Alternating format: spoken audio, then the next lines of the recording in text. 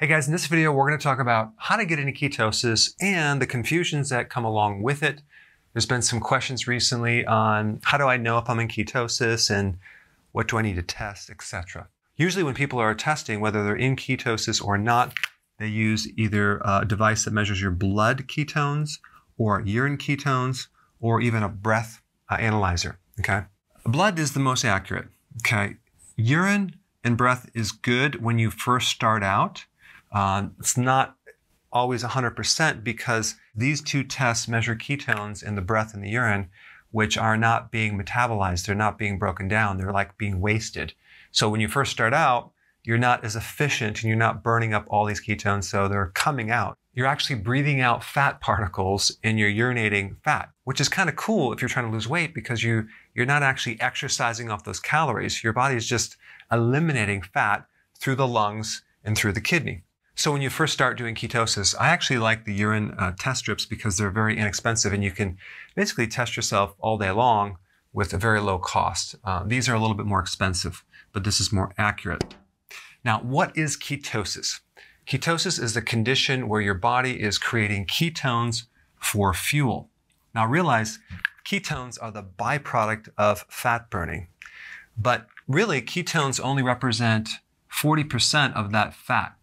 The rest, 60%, is basically fatty acids. So it's a combination of ketones and fatty acids with a very small percentage of glucose. So your body really doesn't need very much glucose, just a very tiny bit. But that tiny bit can be created by your liver from the fat and the protein you're eating. You do not need to get your glucose from dietary carbohydrates. So real quickly, I want to bring up the topic of exogenous ketones, okay?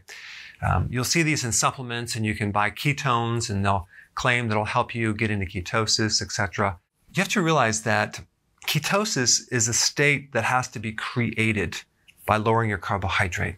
So if you haven't created that state, and what I mean is creating a machine with enzymes that actually burn fat. And that has to be created over several days to uh, weeks, okay? So when you bypass that system and take straight ketones, you're not going to lose weight because your body's stored fat is not being tapped into.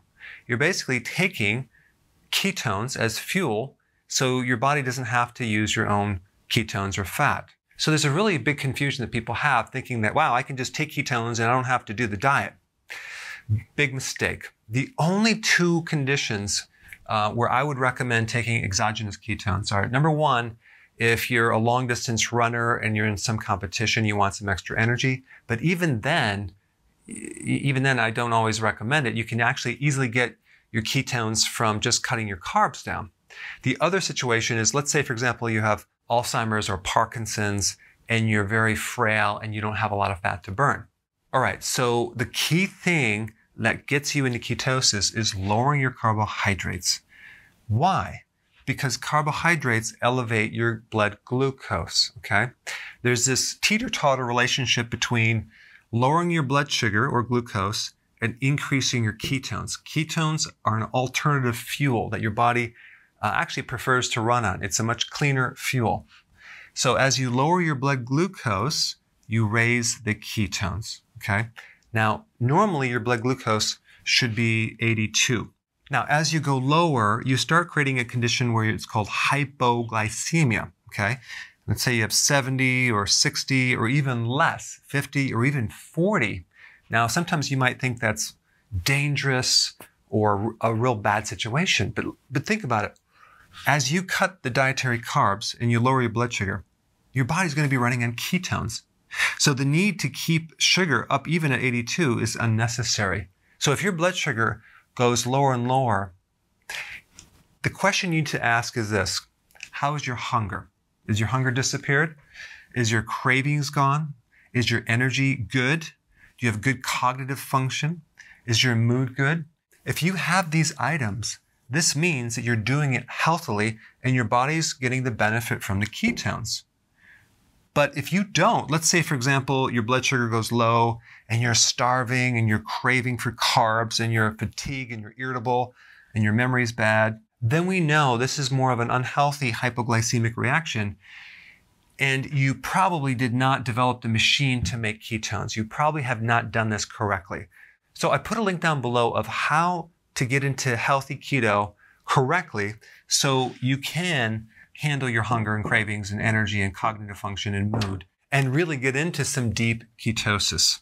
And just to emphasize, the real key thing for ketones is getting your blood sugars down and lowering your carbohydrates. That's the most important thing that you need to focus on.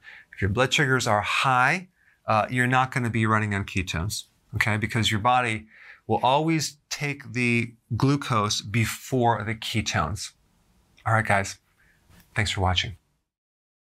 So if you're enjoying this content, go ahead and share it with someone that could really benefit from it.